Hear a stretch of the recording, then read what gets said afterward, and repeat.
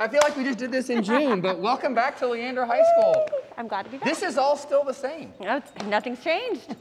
Last year, I think when y'all came, we had Yep. about 400 kids here. Oh wow, Now look, this is already a change. Nearly, Whoa. nearly all 2,000 back. So, hey, Mr. Kelly. Hello.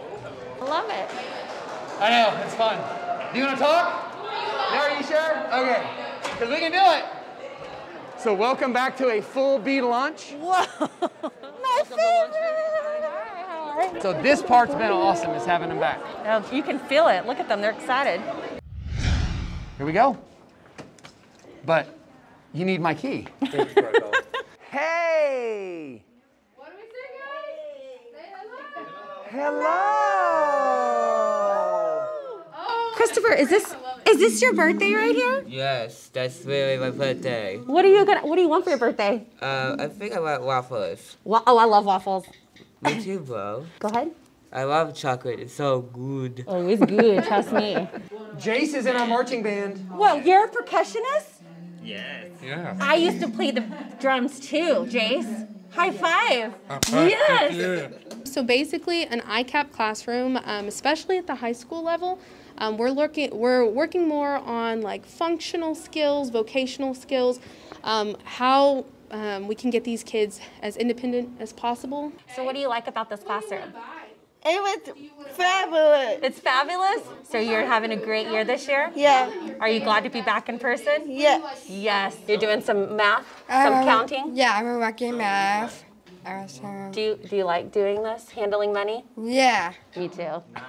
Like in here, you saw us working with money. Um, we're working with um, jobs around campus, but then we also work with the kids on. Um, at this point, we want them to know words as a whole, and so especially your functional signs, safety signs, understand what those mean.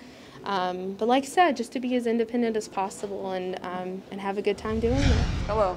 How are you, Becca? How are we doing? We good? Love the lion. So this is new. So Yes. Mr. Robbins was integral in getting this furniture here to have that flexible learning Love space. it. You sometimes see Yep. at Danielson and at Glenn. Mm-hmm. So we're working on building that space here. So teachers will send kids down to collaborate and work on stuff. So I know, I we've like this. made use of the atrium. I love it. I know. I remember seeing it three years ago. Hey, Randy. Hey, Lucas. Hey, Miss Bloomridge.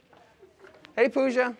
All right, let's see. Let's get. Oh, man, she said she was in a meeting, probably not telling us the truth because she knew y'all were going to be here. So here's one sixth of our counseling staff. She's my counsel- kids counselor. She's I the thought best. they were all going to be in the hallway, so they're working on their senior one on ones. So how's this year been? Uh, Coming back in person, full campus. busy, very, very busy. and you know what? It's back to, I want to say back to normal, but I like seeing all the kids. I like these guys. We have fun. We've been busy, that's to say the least, that's for sure. Um, but, you know, we're doing what's in the best interest of the kids. So I think we've got, where's my son? Oh, we've gotten uh, pretty positive feedback from kids and from parents. So I'm pretty uh, optimistic about that. So. Y'all thought y'all were going to escape. Oh, no.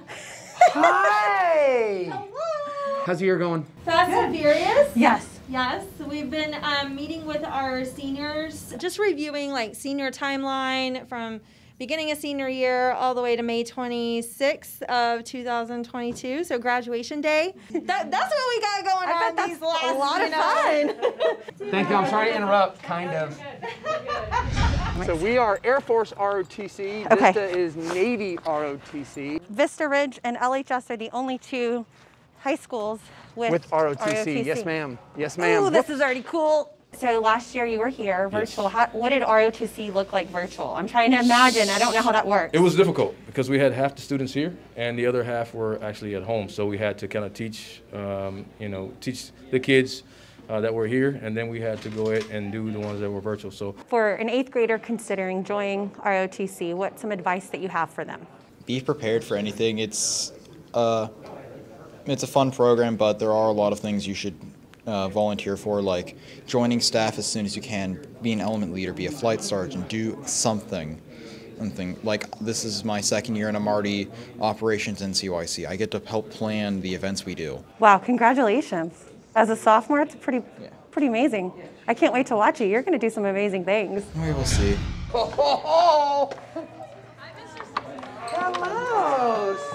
So Bryn is one of our student leaders in Bluebells, and she gets to work with this marvelous group of students who will perform sometimes at halftime, And sometimes in spring show shows. and in Christmas shows. So she teaches routines and stuff. So our students teaching our students, and this is one fantastic kid. So I did it last year. Um, I taught kids, and it's super fun. It's a really good learning experience and really good leadership. And I just enjoy teaching kids, and I just love their ability to dance, and it's super fun. Thank you so much for doing everything. Of course. Good job, Bryn.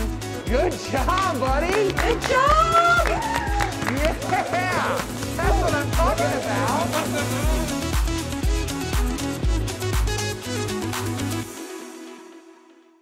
Wait, are we fist bumping or something so it's not all awkward?